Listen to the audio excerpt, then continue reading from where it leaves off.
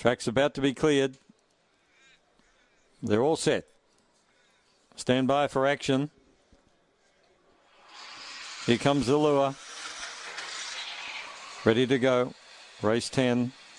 They're off. Fab Blast again walked out of the boxes. Cindy La Moment was one of the first to begin. Shows out early from Natural Fury, gaining ground Annie Bell. A gap in the field on settling was Consolidate, and they're followed further astern then by Luca Flyer. Back with it was Mongolian Bay. Fab Blast is last on the home turn. Cindy La Moment going like a winner, out by two or three, and goes on to beat in second Natural Fury. Third Annie La Bell, fourth Consolidate and then back behind them Luca Fly, Mongolian Bay, Chanel, and Fab Blast never passed a runner.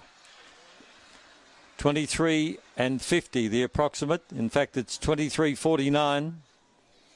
Cindy La Moment, first out and first home.